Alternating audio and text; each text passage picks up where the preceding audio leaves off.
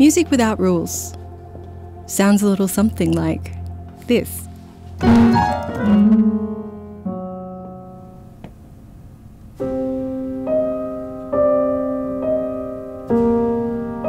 What we hear when we listen to music is not the notes themselves, but the distances between the notes and the patterns that creates.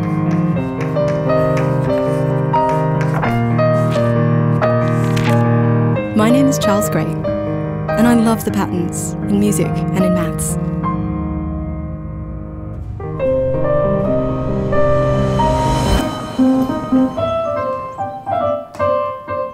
I studied music, and up until recently, I spent most of my time performing and teaching piano.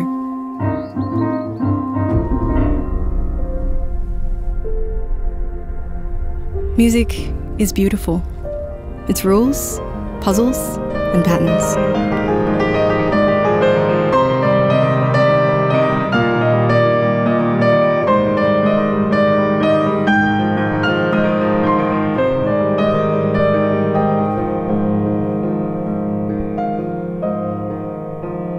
I still love music, very much.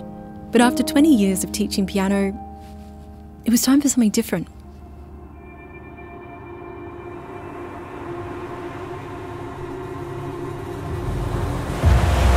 So I got into my late 20s and I drew up a list of possible career paths based on my love of this puzzle solving thing. I made a decision. I would go back to uni to study mathematics. What was behind my love of music was asking why. Why do things sound like this? Why do they sound good? And that's what maths is all about. It's solving puzzles and asking why. Now I work in statistics and I'm blown away by the breadth of applications. We all encounter statistics in everyday life, but through my studies, I was surprised to discover that statistics is used in areas such as medicine, climate science, and even protecting endangered animals. The problems of tomorrow cannot be solved without maths and stats. Understanding the patterns in music creates joy and beauty.